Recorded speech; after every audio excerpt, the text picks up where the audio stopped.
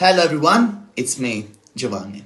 So today is the start of Down Syndrome Awareness Week.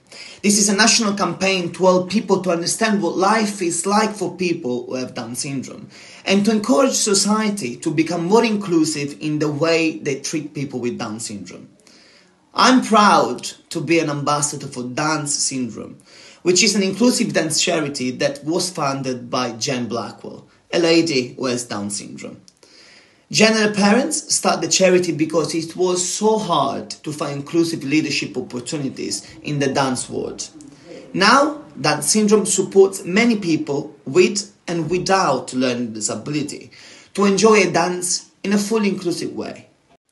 This year, the Down Syndrome Awareness Week campaign is called With Us, Not For Us. And this is about making sure that the people with Down syndrome are included in the activities they're involved with on every level.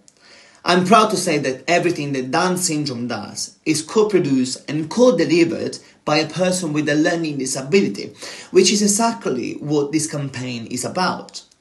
People with learning disability don't just take part with Dance Syndrome. They are given opportunity to lead workshop, to create choreography, and perform together with people without disability in an inclusive way. It's a great example of inclusion, and I really hope you will check them out and support them if you can with a donation. Like this, they can carry on with amazing work.